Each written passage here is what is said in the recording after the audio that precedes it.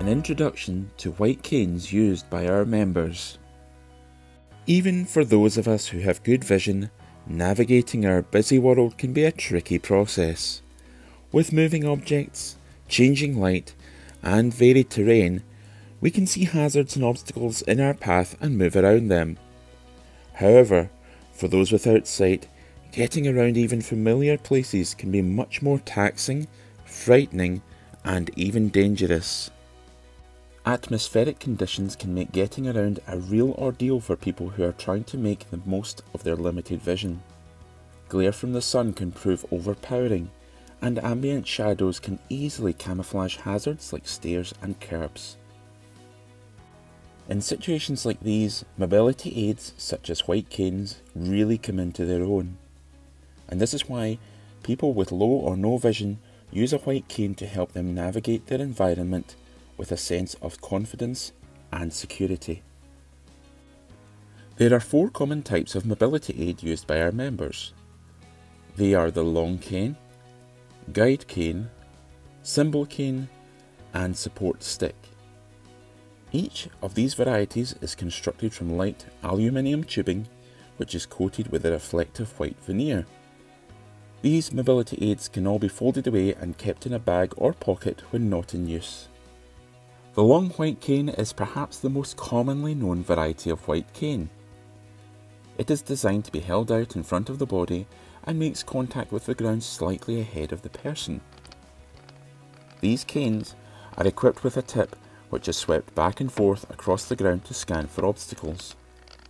Long white canes can be equipped with a variety of tips that are tailored to aid in the navigation of different types of terrain. The long white cane is commonly used by people with very severe sight loss and requires training by a professional rehabilitation worker.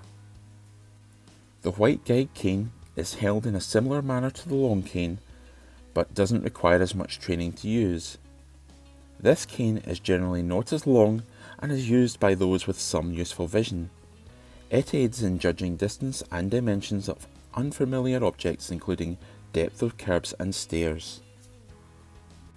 The white symbol cane is similar in length to the white guide cane, but is much thinner. As the name suggests, this cane serves as a signifier to inform those around the user that they have a visual impairment and may have trouble navigating their environment or taking evasive action. This is particularly useful in busy areas such as shops and public transport. The white symbol cane is used by those who have some residual vision. Unlike the three white canes, the white support stick is used like a walking stick to aid with balance. These are usually supplied by a physiotherapist or hospital to home team. In the case of sight loss, the rehabilitation worker would upgrade the support stick with a white reflective coating that indicates that the user has a visual impairment. One wee note to finish with. You may have heard these mobility aids casually referred to as white sticks. Now that you have been acquainted with the correct terminology, you can help us to avoid the perpetuation of this misnomer.